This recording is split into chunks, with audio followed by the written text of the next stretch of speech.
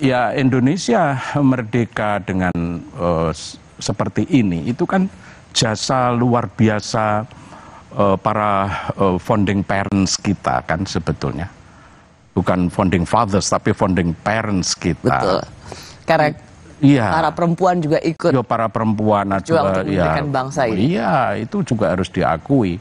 Ada empat ada empat peristiwa penting yang itu mem membuat mentalitas orang Indonesia harus menteladani mereka. Ya kan?